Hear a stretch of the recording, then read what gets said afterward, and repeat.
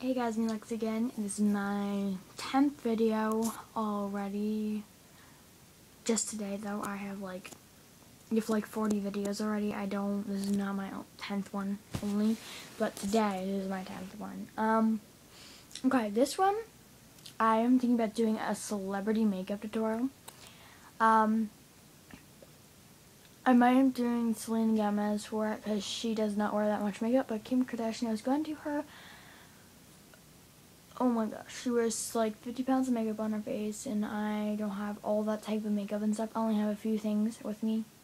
Um, but if you guys really want me to see do Selena Gomez, I would like you to like this video. Or if you want me to do someone else, except I will not do, um, Kim Kardashian, I will tell you that. People who wear like a whole bunch of makeup and stuff like that, like if you guys want me to do that and I, and that's like the highest vote, I will. But I won't be putting on that much makeup though. I will be putting on what I have and their techniques of what they do to put it on.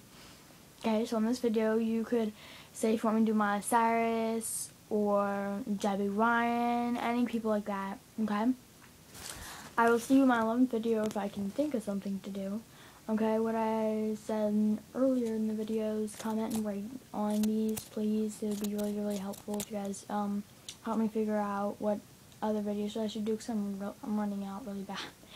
Okay, bye.